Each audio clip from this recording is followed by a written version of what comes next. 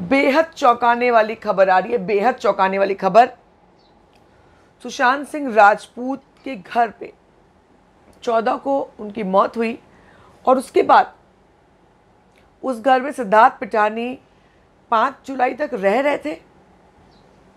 आश्चर्य, सुशांत सिंह एसएसआर की एसआईटी के हवाले से मैं खबर दे रही हूँ, पाँच जुलाई तक सुशांत सिंह राजपूत के घर में सिद्धार्थ पिठानी रह रहे थे। मैं आपको बताऊँ उस घर में उसका लॉक पे पट्टी लगा दी गई ये देखिए तस्वीर।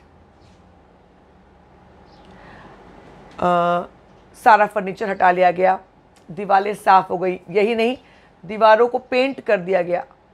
फर्नीचर हटा के पूरा घर साफ़ कर लिया गया। जब वहाँ पिकनिक मनाने मीडिया की कंपनी गई थी कैमरे के साथ तो उस पिकनिक की जो उन्होंने फ़ोटोज़ खींची थी वीडियोज़ खींची थे वो सामने आया था। पूरा घर साफ़ था क्लीन जब कोई भी किराएदार किराए, घर छोड़कर जाता है तो घर कैसा होता है, मुझे पता है। बेड के हटाने का निशान होता है, फर्नीचर के हटाने का बेड नहीं हटाया है, पर बाकी फर्नीचर के हटाने का निशान होता है। हॉल में किसी फर्नीचर का कोई निशान नहीं, दीवार पर कोई निशान नहीं, एसी का कोई निशान नहीं, जबकि आमतौर पर ये निशान होते हैं। कोई निशान नहीं। पूरा घर क्लीन साफ़ करके पेंट करके घर की चाबी ओनर को दे दी गई। घर खाली कर दिया गया ओनर को ये कहा गया कि आप किसी किराएदार को नहीं रखेंगे और ना ही रेंट मांगेंगे क्योंकि जब तक जाँच चल रही है।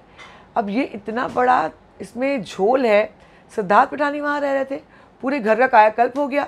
हालाँकि ये खबर जो है, ये जस्टिस फॉर सुशांत सिंह राजपूत जो है, उनका ग्रुप उन्होंने दी है और उन्होंने कहा है, उन्होंने और भी कहा है कि स्टील का स्ट्रिप टूटा नहीं था, तमाम और चीज़ें, जिस पर हम बात पहले कर चुके हैं। मगर ये नया मुद्दा था कि सिद्धार्थ पिठानी वहाँ पर रह रहे थे पाँच जुलाई तक। और उन्होंने, और ये जो खबर है कि घर पूरा साफ़ टाइम्स नाव में दिखाया गया। टाइम्स नाव की रिपोर्ट थी कि पूरा घर पेंट कर दिया गया, पूरा घर क्लीन कर दिया गया। मकान मालिक को चाबी दे दी गई थी और कहा गया था कि अब तुम्हारी प्रॉपर्टी तुमको वापस दे दी जा रही है, मगर किराए पे मत देना। मगर सिद्धार्थ पिठानी, सुशांत की मौत के बाद 20 दिन 19 दिन तक और वहाँ रहा था। बड़ी खबर। आप क्या सोचते हैं इस बारे में ज़रूर बताएँ। बहुत बड़ा खुलासा। बने रहे हमारे साथ लगातार खबरों का सिलसिला जारी है।